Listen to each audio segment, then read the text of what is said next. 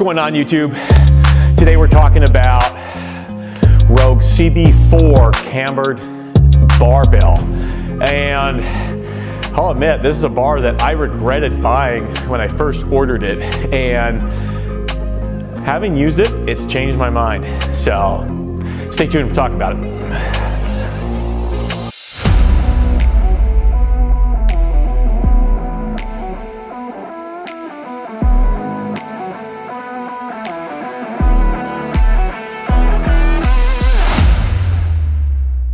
Hey, welcome back. And today we're talking about the Rogue CB4 cambered barbell.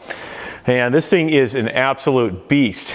Um, so why did I buy it? Well, I kind of bought it as an impulse buy, I'll be honest. And it was in the boneyard, which it's still in the boneyard today.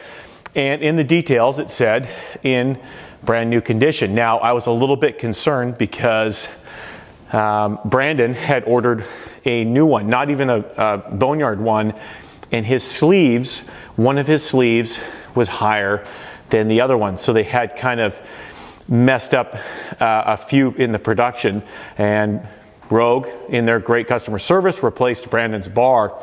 But I was a little bit concerned about that ordering from the boneyard. Well, I lucked out. No issues like that with my bar at all. Now, why are they in the boneyard? Well, I can't speak for Rogue. Obviously, I don't know, but I can say that a large run of these had a very poor finish or, or basically Cerakote finish or even just the way that the metal was finished. And I think that's why these ended up in the boneyard. And I'll show you in some pictures.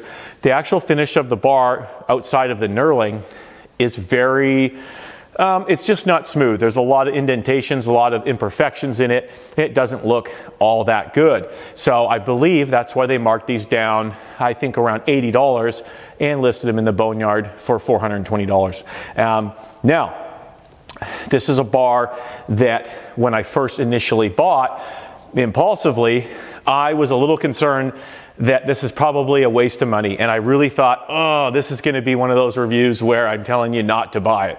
Well, after using this bar now for I don't know how long, you know, a few weeks or three, four weeks, um, I really like it, and I've really grown to like using this bar. It's actually a lot better bar than I was expecting in terms of the ergodynamics and the feel of the bar. We'll talk about squats first. So I'm recovering from a torn shoulder. I cannot squat on a straight bar, so I've been using my rep SSB quite a bit.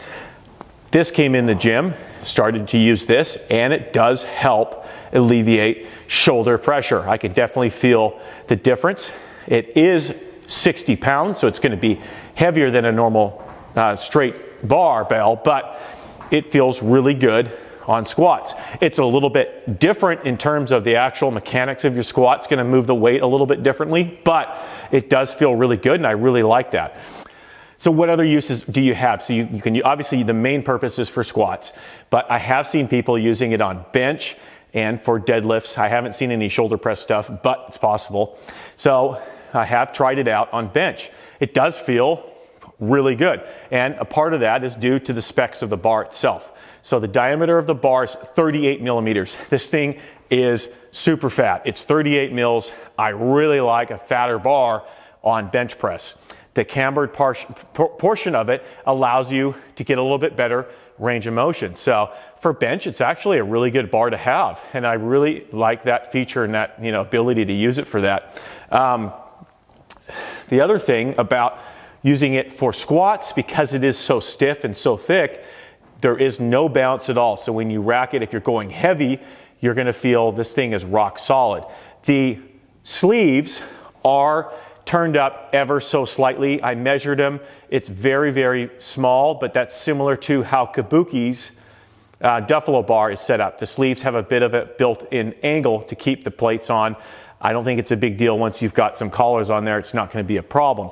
The knurling on this bar is aggressive. It is seriously aggressive and feels great. I really like the, the knurling on it. The portion in the middle here with the center uh, mark is great for your back and it stays on there for squats. It's not going anywhere. And again, this was really designed in conjunction with Westside Barbell for the, the strongman games for Rogue, and they had some huge, strongest dudes in the world using this bar, and it was pretty impressive. So, one other thing that they improved upon over, say, the Kabuki Duffalo bar is Rogue elongated the camber. So they actually stretch the camber out. I can't remember if it's 10 inches or 8 inches further, but what that does is that prevents it from wanting to roll on you. If you look at the Duffalo bar, it ends here and then goes, goes straight or flat.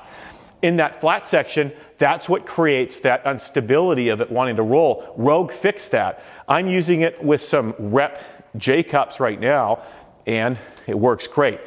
I will say this, and this is just a warning or caveat to anybody with roller, roller J cups.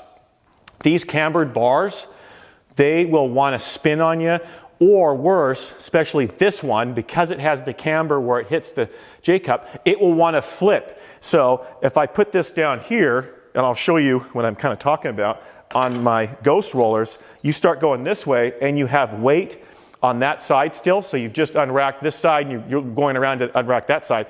This will slide down and this side, I've had it happen to me, will want to come up out of the J cup and flip over. So just be careful. I have a set of inserts for my Irwin rollers on order from Irwin Fitness, and I'll be using those primarily with this bar or these rep J cups here.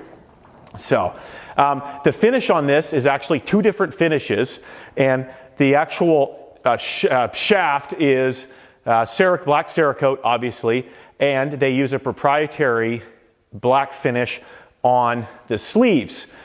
There has been some complaints on tighter fitting plates not slipping over the sleeves.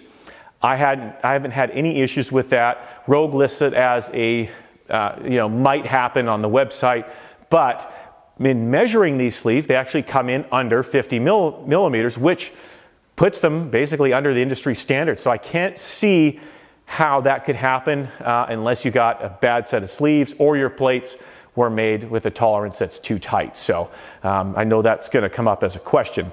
Retail on this is 495. We covered it, and Boneyard 420. Overall, in closing, this is a bar that you do not need to have in your gym. It's a nice maybe must, you know, it, it's a nice, if you can have or maybe add to your barbell collection, but this by no means is a must purchase.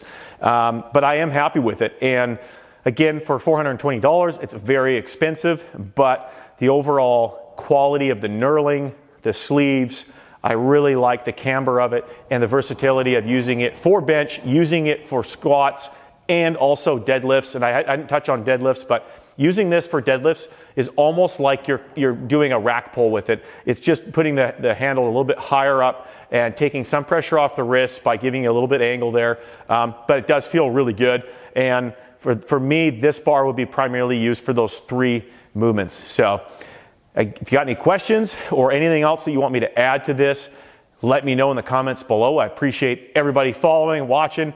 And again, watch all the reviews you can. This is just my opinion. The best thing to do, and what I do as well, you know, is whenever you're buying something, is check out the other reviewers, see what they say about the bar, try to pick up something from everybody, and then that way you can make a good informed decision. I'm not an affiliate for Rogue, but you know, it's still a nice product. So have a good one. Thanks for watching. We'll see you on the next one.